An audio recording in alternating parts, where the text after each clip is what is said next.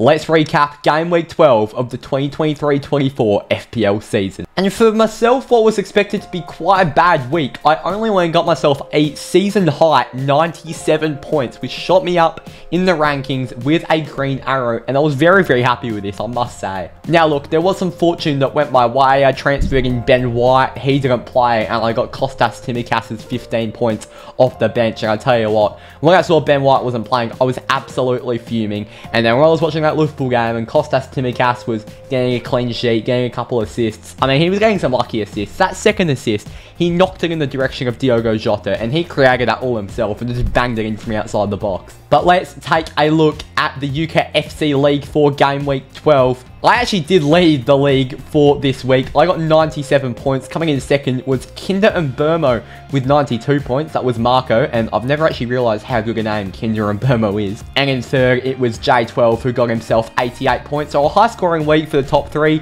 but I come out on top for the first time this season. Let's take a look at the transfers I made. I brought in Jarrod Bowen in for the injured James Maddison. That I mean, that Spurs attack without James Maddison, that created monster. They're playing Højbjerg instead of him. So they're playing a lot, a lot more of a flatter midfield. Instead of playing Sarr and Bissouma in those deeper positions and Maddison at the number 10, they're playing a more flat midfield. Bissouma and Sarr in midfield too, with Højbjerg holding it. It's a really, really just, it's lacking creativity. And um, obviously Maddison had to go. And I also think this, you know, that with injuries and suspensions in the back line, this will also affect the clean sheets going forward as well as the tough runner fixtures. So I also moved on Pedro Porro. Who I brought in for James Maddison, it was Jarrod Bowen. It was an obvious choice for me. His form is absolutely elite at the moment. And on the fixture difficulty rating, he just had Nottingham Forest at home. Next up, he's got Burnley away and Crystal Palace at home. He got a return against Forest. I'm expecting the same return against Burnley and Palace. Then moves on to Spurs away, which, you know, is a derby and Spurs are vulnerable. Then Fulham away, then Wolves at home, then Man United at home. I think he can get returns in all of those. And then who I brought in for Pedro Porro was Ben White. And Mikel Arteta, for some reason, just said absolutely nothing about him being injured. So he ended up not even being in the match day squad, which turned out to be fortunate for me in the end. Let's take a look at the team I had. Had either Alfonso Areola against Forest at home or Robert Sanchez against Man City at home. I was obviously always going to take Areola, but West Ham's defense at the moment just looks absolutely roasted. I mean, Zouma and Aguerd are two not bad players, but Alfonso Areola cannot keep a clean sheet to save his life. He did concede two goals, but he got the bonus point for the three saves. I mean, it's just a weekly two-pointer from Alfonso Areola or Robert Sanchez. Doesn't matter who I play. I'm getting two points from them. Now, the thing to mention about Robert Sanchez is his fixtures are very, very good coming up. So Areola in the next few weeks, he's got Burnley away, Palace at home, then Spurs away, then Fulham away, then Wolves at home. There's some decent fixtures. Um, now, while Robert Sanchez in the next three weeks has Newcastle, Brighton, and Man United, after that, from game week 16 to game week 24, Everton away, Sheffield United at home, Wolves away, Palace at home, Luton away, Fulham at home, then Liverpool away, but then Wolves at home, Palace away. There's some really, really good fixtures, really improving Chelsea. So Robert Sanchez will be, will be my keeper for the long term. And I think Sanchez and Areola, I'm fine with rotating those throughout the season because realistically there are no clean sheets in FPL this year even for defenders. Kostas Tsimikas, very very fortunate as I said Tsimikas was on my bench and Ben White was on my field, Burnley at home, and if Ben White did play, they did not even keep a clean sheet, so that would have been even worse. But Ben White came off, and Kostas Tsimikas, I mean, that first half performance, and uh, first of all, his midweek performance against Toulouse was absolutely terrible. So, I couldn't believe he actually started. And then once that, that first half, I thought he was terrible on the ball. Second half, didn't concede a goal, got two assists. I mean, that first assist for the goal for Salah was absolutely brilliant from Tsimikas. He just kept the ball in play, got to the back post, and Salah put it home. Look, I don't usually enjoy watching Liverpool play, and I didn't enjoy watching Liverpool win, but um, there's a little bit of a sweet taste when it's the FPL players combining. Matty Cash with two points against Fulham at home. Matty Cash cannot buy a clean sheet. Um, I've had Matty Cash for quite a while now. I've had Matty Cash since game week 8. Um, game week 8, he didn't provide a clean sheet. Game week 9, he didn't provide a clean sheet. Uh, game week 10, he did provide a clean sheet, but got booked. Game week 11, he conceded two goals and only played 58 minutes, so that was a zero. And then this week, he got two points with no clean sheet. Matty Cash, I'm going to be moving on very, very soon. I'm probably going to move Matty Cash on. Um, my plans in game week 16, I mean, this week he's got Spurs away, which isn't the most awful fixture. Plus, I've got more important issues to fix up. Then he's got Bournemouth away after that. And then game week 15, I'm just going to have to suck up Man City at home and hopefully he can do something because Again, I've got more important plans. I'm probably going to get move Diaby to Mbeumo that week, considering Brentford move on to their really good fixtures and Diaby moves on to Villa's really bad fixtures. And then game week 16, when they've got Arsenal at home, I'm probably going to try and move Matty Cash to Kyle Walker. And I tell you what, Man City from game week 16 onwards, they look unbelievable. Luton away, Palace at home. Then they've got a blank in game week 18. Then Everton away, Sheffield United at home. In game week 20 with Sheffield United at home, could actually end up being a double game week. So that game week 20, um, game week 20 could look really, really good for City players. If you triple up like me, like I'm planning to, on Walker, Haaland, Alvarez, that could look really, really good. Then Diogo Dalot, very, very surprised. I put him on my field, praying he'd start, and it ended up Aaron Wan-Bissaka missed due to illness. And he kept himself a clean sheet, and he actually played quite well.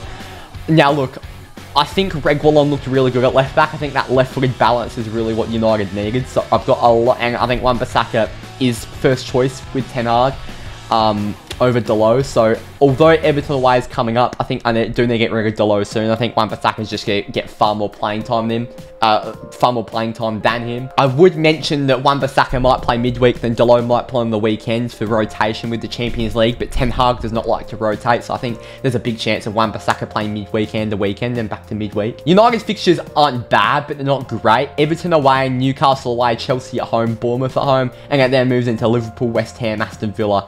It gets really, really tough up until game week 19, pretty much up until the end of the year. Yeah, I think I do need to move Dalot on, but happy with the clean sheet I got from him. Jarrod Bowen, I brought him in this week for Nottingham Forest at home, and I'm really, really happy with his returns. He looks absolutely phenomenal at the moment. He's only blanked three times since game week five, and that was against Man City, Newcastle, and Everton. So two out of three really, really tough fixtures, and Bowen is returning every single week, more often than not with a goal rather than an assist. He just looks so, so dangerous. He even scored off James Ward-Prowse's free kick on the weekend. Really, really happy with Jarrod Bowen, and even go a bonus point, which he's very, very likely to do week in, week out. And West Ham's fixtures, Burnley, Crystal Palace, Spurs, Fulham, Wolves, they look really, really good. Anthony Gordon, look, um, I kept him on the bench last week for his goal against Arsenal, and of course I fielded him against Bournemouth, where they lose 2-0. Um, he doesn't really get involved in the game.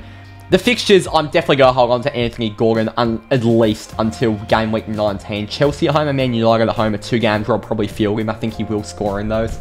And then Everton away, Spurs away, Fulham at home, Luton away, and Forest at home. And then it gets to game week 20 where it's Liverpool, Man City, and Villa. So they're three really tough matches. I'll probably get rid of Gordon around game week 20, but he's got a good run coming up, and uh, yeah, I've got no worries about him. I just wonder whether he will play number 9, because he looked a little bit more out of the game. If Newcastle's creative um, wingers and midfielders can't get Gordon in the game, I do worry about him, but I think he'll move out to the wing uh, soon enough, depending on when Isak and Wilson are back. Captain Mo Salah, the FPL GOAT. I captained him, he gave me 32 points, he got two goals, a clean sheet, and three bonus points, as well as playing 90 minutes.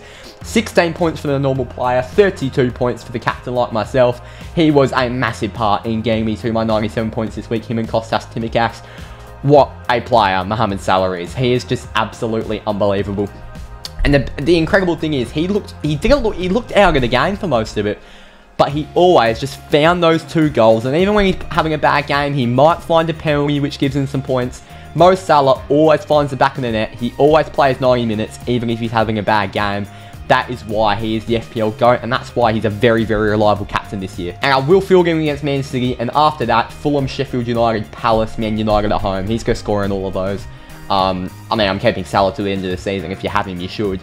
He's just unreal. Moussa Diaby, very lucky assist. I, I think on the assist he didn't deserve to get an assist, I won't lie. I cannot believe he um it, it even counted. I, I think it came off Tielemans last, but for some reason the people at FPL gave him the assist. I'm not complaining. Diaby's probably going to go for me in the next few weeks. He's getting quite a few lack of um of returns. He only blanked he's only blanked once since his 13 point haul against Luton, but next few matches Spurs, Bournemouth. I'll probably get rid of him after the Bournemouth game. He's then got City, Arsenal, Brentford away. Then Sheffield United at home, but then Man United away. It's just a real mix of fixtures. He's got Newcastle a few weeks after that, so Diaby's probably going to be going soon for me. For probably a guy like Bryan Mbeumo. Uh, my plans at the moment is to get rid of Diaby in game week 15, and and Mbeumo from game week 15 onwards, his run looks really, really good. I'm going to miss his Luton game in game week 14, but game week 15 onwards, Brighton away, then Sheffield United away, Villa at home, then he's sort of blank, but then Wolves, Palace, Forest. Um, look, I think Mbeumo looks like a great option. He'll probably come in for Diaby for me in game week 15. Hwang Hee-chan, I do worry about him without Pedro Neto in the side, but that being said, apart from this blank, he's only blanked once since game week 6, and funnily enough, that was against Luton. So, um, yeah, no, not too many concerns about Hwang, especially considering his good run. He's got Fulham away next game week, then Arsenal, but then Burnley and Forest. Not too many concerns, but he'll make my he'll make his way out of my side soon enough. Maybe even for Pedro Neto when he's back. Erling Haaland, 16 points. I mean, take a bow. What do you want to say about Erling? He is just absolutely phenomenal. I've really, really tinkered over the last few weeks whether to move him to a Darwin Nunez to improve guys like Saka and Son and get them into my side, even Kieran Trippier. But after a game like that, the four-four-all draw with Chelsea, two goals, one assist, after not getting a return in a 6-1 win against Bournemouth, he really repaid the faith. Two goals, one assist, 16 points. Liverpool this week, you still feel him. Then he's got Spurs and Villa, two tougher games. Doesn't matter for Haaland. And after that, Luton, Palace, Blank, Everton, Sheffield United, Newcastle, Burnley, Brentford, Everton, Chelsea, Bournemouth. That's up until game week 26 in February, late February. Like, that is an insane run. I don't really care how much he costs. I think that's the end of my thoughts of moving Haaland to Darwin. Ollie Watkins got himself a goal. Seems to just always find the goalie. Blanked in the last two game weeks, frustratingly, against Forest and Luton, but other than that, looks really, really good. He's their main goal threat. The run does really toughen up for Villa over the next few weeks. In game week 15 and 16, they have Man City and Arsenal back-to-back, -back, but I think I'll hold on to Watkins. I've got bigger issues to fix, and even if Villa do just pinch one goal, there's a very high chance that the man to pinch that is Ollie Watkins. As I mentioned earlier with Robert Sanchez, his run coming up is very, very good, so I'll hold on to him. Julian Alvarez got himself five points off my bench. If I fielded him over Hwang Hee-chan, which was actually actually a late decision to field uh, uh, Hwang over Alvarez, then I actually would have reached the 100 point mark, but no, of course, I feel Hee-chan over Alvarez. And then Ben White and Doughty with those yellow flags. Doughty got himself two points, and obviously Ben White didn't play. Um, ben White, bit annoyed because I did get him in for that Burnley matchup, but it's not like his run coming up is bad. He's got Brentford, Wolves, and Luton coming up, so yeah, not too concerned. I think Ben White will be in for the long run, and I'll try to get a guy in like Gabriel, uh, probably in for Diogo Dalot to hopefully keep a few clean sheets. All right, well, that's my recap for game week 12 of FPL. Let me know how you did down in the comments, and I will do a preview video for game week 13 next week. See you all next time, and hope you enjoy the international break. Nobody's enjoying the international break. Cheers.